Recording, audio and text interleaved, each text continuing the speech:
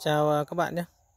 Hôm nay mình à, sẽ chia sẻ với các bạn là về cái à, cách đơn giản nhất để có thể khắc phục cái bệnh lấm rong rêu bò hóng ở trên cái cây bưởi. Thì như các bạn đang nhìn thấy thì đây là cái cây bưởi nhà mình này. Nó đang bị rất là nhiều cái bò hóng, mình gọi là cái bò hóng đi. Nguyên nhân là do cái quá trình mà thời cả năm ấy thời tiết mưa ẩm rồi thì khô hanh nó dẫn đến cái lấm bệnh. Khi cái lấm bệnh phát triển thì uh, nó kéo theo những cái bụi bẩn rồi thì những cái ký sinh ở trên cái ờ, thân cây bưởi ấy, thì nó tạo thành cái uh, cái rong rêu nó mọc lên. Đó thường thì xuất hiện ở nhiều uh, do mình không không không chịu khó sử dụng thuốc uh, tẩy lấm tẩy rửa rong rêu cho nên là nó sẽ bị xuất hiện như thế này và nó sẽ ăn dần lên. Nó lây lan vào mùa mưa mà. Khi nước mưa ấy, à, vào thì nó lây lan từ cành nọ sang cành kia à, từ cây nọ sang cây kia. Thế thì cái này ấy, thì à, à, các bạn à, thấy một số những cái cửa hàng người ta bán thuốc tẩy rửa rong rêu rồi thì lấm bệnh các thứ mình mua về thì à, chia sẻ với các bạn là mình có phun thuốc đến mấy đi chăng nữa thì nó cũng không thể hết được. Nó không thể à, Ờ, tẩy sạch được những cái vết như thế này những cái lấm đen đen những cái bò hóng nhỏ nhỏ đen đen này này. Đó. Thế và những cái sau như thế này nếu mà mình không trị là sau nó sẽ mọc rêu xanh nè hết lên. Nó bám thành một cái lượt rất là dày. Đấy. cái lấm hồng nó gây ra và uh, những cái lấm khác nữa. Nó tạo thành một cái lớp rất là dày ở ngoài này ngoài vỏ này sần sùi ngoài vỏ này. Thế và là sau đó thì nó nó khoang khoang này nó khoang khoang này nếu mình không điều trị thì sau nó sẽ mọc rêu để lâu nó sẽ mọc rêu nó xanh xanh như này. Thế mà rêu và sau đó nó ký sinh rất là nhiều những cái khác nữa rêu tảo các thứ. Nó mọc đầy đây thì nó sẽ làm cái quá trình quang hợp của cái vỏ cây nó sẽ bị kém đi và cây nó sẽ ảnh hưởng đến cây ảnh hưởng đến cái sự phát triển của cây. Thế thì để điều trị cái này thì à, à, giới thiệu với các bạn là để muốn điều trị cái này cho nó sạch chị mình sẽ phải kiên trì về thời gian thứ nhất là mình sẽ phải phun uh, tất cả những cái liên quan đến cái lấm phải điều trị phun cái lấm dùng một số loại thuốc uh, đặc trị lấm các cái gốc đồng các cái hoạt chất uh, như là mancozet, đó, ví dụ như hoặc là dùng ờ, thuốc ờ, một số loại thuốc như là cái thuốc cóc 85 cũng được hoặc là cái ridomin đó hoặc là dùng cái thuốc sinh học cái tẩy rửa rong rêu ấy cũng được mình phun ờ, đều đặn ờ, đánh kép vài ba ngày đánh một lần. Liên tục như thế trong khoảng thời gian khoảng ờ, uh, 3 đợt. Tức là cứ cách nhau khoảng 3 năm ngày mình phun một lần. Mình phun liên tục 3 lần như thế. Thế sau đó là khi nó khô cái cây rồi cây nó khô nó không bị trời thời tiết không mưa ẩm gì nữa thì các bạn uh, tiến hành uh, xử lý bằng cách là có thể là cọ rửa. Một số bác cẩn thận thì phụt nước lên xong rồi cọ rửa nó đi. Nó cũng hạn nó cũng cũng nói chung là nó cũng cũng cũng đỡ. Đó. Hoặc là dùng máy rửa xe phụt. Máy rửa xe để phụt. Đấy, phụt uh, hết lên ờ, để cho nó bay ra.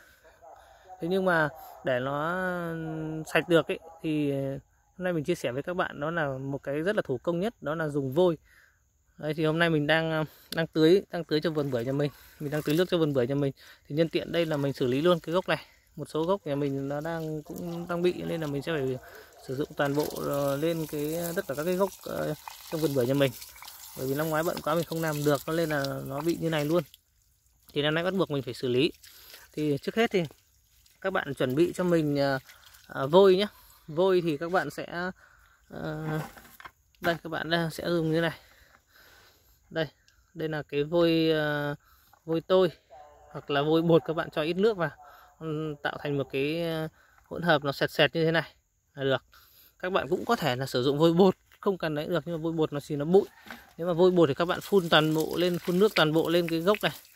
Đấy, phun hết lên này sau đó các bạn ờ, lém vôi bột lên là nó cũng bám dính vào đây. Nhưng mà ờ, cái độ bám dính nó sẽ không lâu bằng các bạn sử dụng như này. Và làm như thế này là để mục đích là mình cọ luôn. Cọ qua đi luôn ở trên cái cây luôn để cho nó sạch cái cây đi một phần lấm nó bay ra một phần thế và để cọ cái cây này thì các bạn phải chuẩn bị ờ, găng tay các thứ thật là chu đáo nhé à, ờ, mình ờ, sử dụng một cái găng tay nhựa ở trong này sau đó mình đeo một cái găng tay vải ở ngoài để làm như vậy để mình cọ. Găng tay vải để cọ nó không rách cái cái bao tay nhựa này của mình.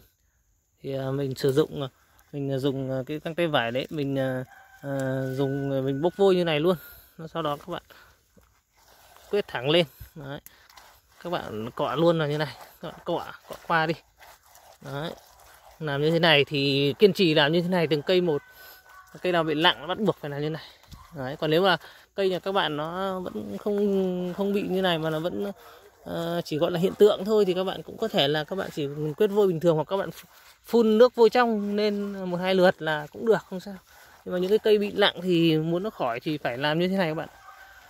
Đây là cách đơn giản nhất mà mình hiệu quả nhất nếu các bạn không sử dụng các loại thuốc khác thì các bạn chỉ sử dụng vôi bột không cũng được, chả sao cả.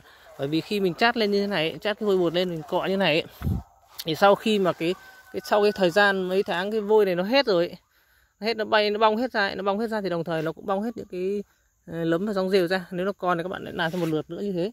Khẳng định với các bạn là sẽ hết nhé. Chắc chắn là hết. Đây, các bạn cứ làm như này thôi. Rất là đơn giản, mà như, mà rất là nhanh nhưng mà nếu mà dùng cái chổi dơ với quét quét chấm chấm thì thì thì lâu lắm. Cả ngày được vài cây thôi mà nó không bám các bạn. Các bạn phải dùng tay như này các bạn xoa vào như thế này. Đấy, xoa đều từ gốc rồi lên. Đó, thế này. Làm như thế này là vừa tẩy rửa được rong rêu này vừa phòng được một số cái loại sâu bệnh hại vào cái thời điểm chuẩn bị ờ, mưa rồi chuẩn bị vào sang đầu xuân là nó mưa dầm mưa dầm.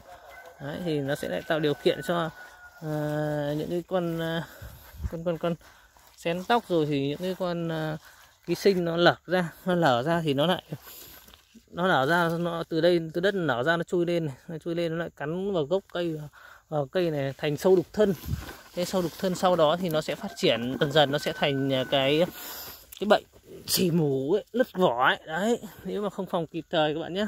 Bôi vôi như này là sẽ có tác dụng vừa tẩy rửa được cái rong rêu này vừa phòng được cái cái cái uh, bệnh uh, chảy mủ và bệnh uh, bị con sâu đục thân nó cắn nó nó sinh ra chảy mủ và lứt vỏ cây đấy. Đó hôm nay là hôm nay thì là thời điểm đang là mùng 4 tháng 12 âm lịch rồi. Nước mấy hôm nay mình vẫn đang tưới nước nhé. Hai hai hôm nay là mình đang tưới nước liên tục ấy cho cái vườn bưởi nhà mình ấy. và đây là cái cái cái cái cái, cái cây này nó bị như này là mình phải đang trực tiếp để cọ rửa này cọ rửa cho nó như thế này. Các bạn cứ cọ như này hết tất cả những cái chỗ nào mà nó có cái lấm mốc nó có cái bò hóng ấy là các bạn. Này kể cả cái lấm hồng các bạn lấm hồng trị bằng vôi này rất là hiệu quả. Đấy, mất công một tí thôi nhưng mà nó sẽ hiệu quả. Nhưng mà sử dụng mình làm nhưng bằng cách này thì nó cũng rất là nhanh. Để bôi lên một cái cây như thế này nó rất là nhanh. Chứ nó không như là mình cứ phải phải phải phải nó không mất thời gian như mình phải dùng cái chổi quét. Chổi quét thì nó rất khó bám các bạn mà nó lại lâu mất thời gian. Thế và cách nữa là lọc nước vôi trong lọc nước vôi trong sau đó ờ, pha mấy lị thuốc cốc đồng phun lên. Nhưng mà như thế nó cũng mất thời gian các bạn theo mình thì thôi cứ làm như thế này là nhanh nhất. Đấy, xoa đều vào. Sau này nó sẽ bong hết cái lượt vôi này ra ấy, thì là cây nó cũng sạch. Nó lại trở lại nó ờ, như bình thường đó thì hôm nay nhân tiện đây mình chia sẻ với các bạn về cái cách đơn giản nhất mà lại hiệu quả để mình phòng và chữa cái lấm và cái rong rêu trên cái cây bưởi. Những cái cây nặng rồi nó gọi là rong rêu lấm tảo địa y nó mọc chùm chè lên ấy. Đấy, thì làm cách này là cũng hết các bạn nhé. Thì chia sẻ với các bạn như vậy. Xin chào và hẹn gặp lại các bạn ở video lần sau nhé.